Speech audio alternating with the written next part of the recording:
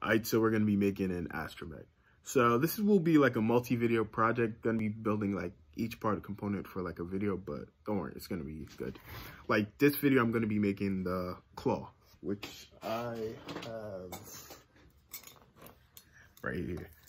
It's a pretty cool claw. So yeah, I'm gonna show you guys how I made it. All right, so the first thing I had to take care of was the CAD design, which you see right here. All right, so you see right here, I got the first arm. Even animated joints, uh, opens, closes. About to print this out and uh, see how it works. All right, so I just finished putting together the first arm. Uh, doesn't work too well, so I'm redesigning it because that's not supposed to happen. But does look good though.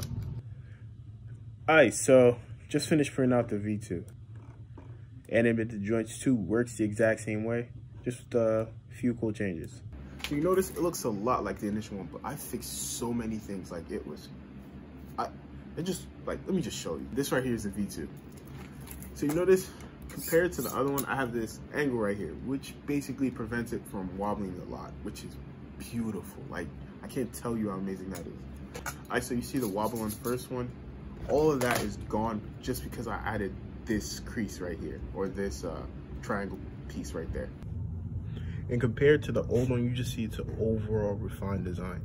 Like it's literally the same setup, two MG90 servos at the bottom, uh, the double hinge, I don't even know what those are called, but basically two arms right here, another arm so the thing can stay horizontal or perpendicular. And yeah, literally the same principle, just a more refined design. Here you got, I'm using the metal rods, I'm using popsicle sticks because of the measurements. Here, everything fits perfectly. And yeah, and this is me just testing it out. I tested out on a pencil, some calipers, the other arm, uh, some pliers just to see how much weight it could actually carry, even a Nerf ball just to see how it dealt with uh, spherical objects. So I was pretty uh, happy with how it worked due to the fact that like it only has one set, it only has two settings. So I wanted to see how it would work with gripping things. It only has like those two settings, open and close. But turns out, I don't know, maybe it's because I'm using two servos and they're like uh, metal gears. They just stop at uh, whatever they want to hold. Like for the Nerf ball, it just stopped at the size of the Nerf ball. For the uh, other thing, it just stopped at that size. So, so I wasn't necessarily expecting it to work like that, but it works like that, and I'm not gonna complain because it works good. So, I'm happy with how it turned out. So next video will be a Nerf cannon. Like I already have it designed, almost finished. I'm on the second prototype right now.